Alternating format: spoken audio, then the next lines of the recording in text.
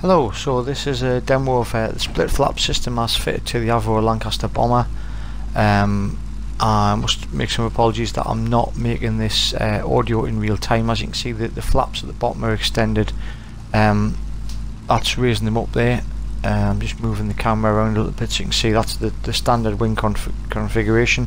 And then when you put mistake take off the flaps extend all the way down from the bottom surface of the wing. The top surface of the wing is unchanged and what this allows the split, split flap to do is it maintains the laminar flow over the top surface so you don't get as much turbulence over the top surface so that maintains the lift but still increasing the bottom surface camber uh, which gives you your increased lift at lower speed.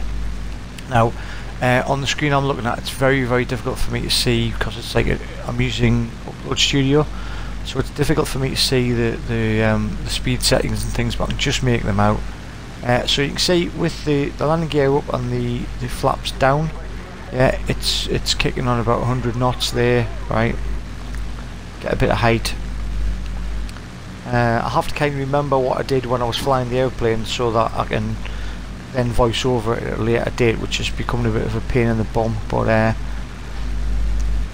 yeah so here we go. So we're flying along. I've got the flaps all the way down. So this is going to produce maximum drag but also maximum lift. And as you can see flat out uh, I've taken the throttle down to nothing right? And your speed's dropping down there at about 87 knots. Um, with the flaps at combat which is halfway up similar to takeoff um, we'll see that on the next part I'm trying to get, a, basically a level altitude. And I think you're looking at around about 120 knot flying speed with the flaps at combat. Yeah, so you'll see that the aircraft maintains. Um, uh, there you go. Your flying speed is too low. Increase the throttle. So with the throttle about, so you know, the throttle not wide open, and um, maintain about 120 knots. You can maintain 120 knots with the flaps at combat. Yeah. Um, there's the flaps going. Now when I raise the flaps now, yeah, see the flaps are all the way up now. You should see that with the same throttle setting, we're still around about 170 knots there. Yeah. Like you should see the altitude start to drop.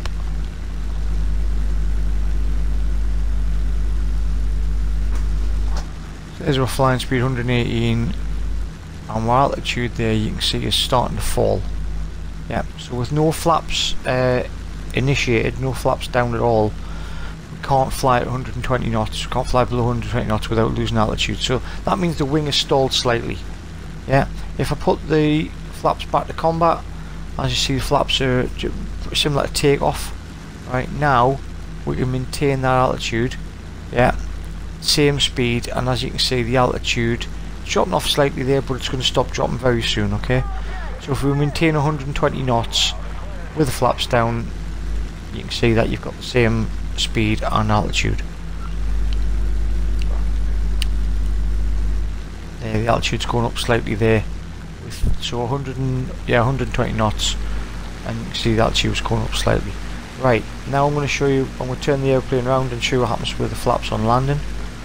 Um, I've lost track of which clips I'm voiceovering here, so this might be a crash. I don't know.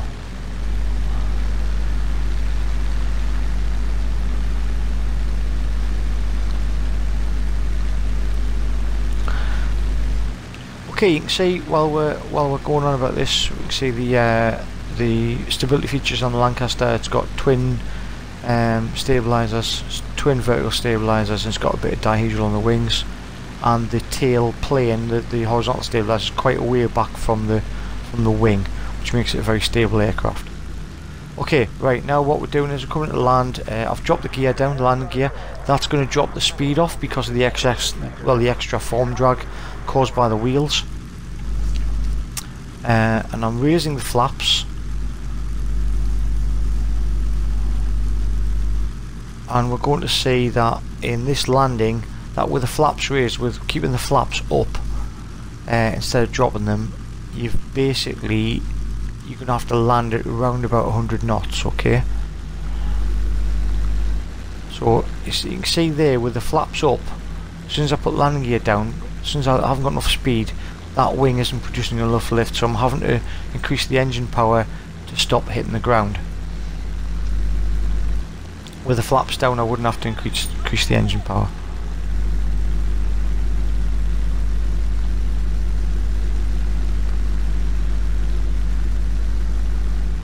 Okay, now coming to land, we'll take the speed down.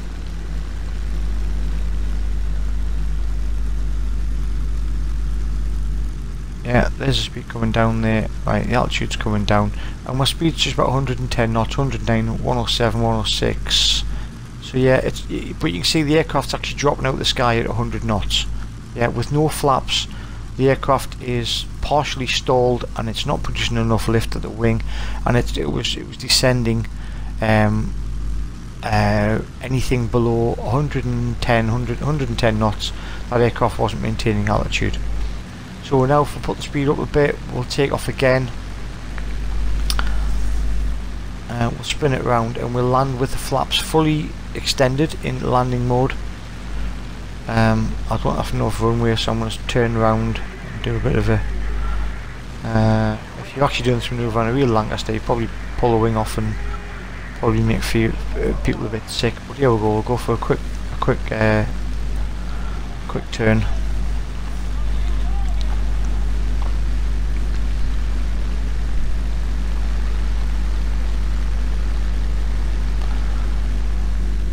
Uh, the the, uh, the game actually as soon as you take off it puts your, your landing gear up so I've dropped the gear back down again.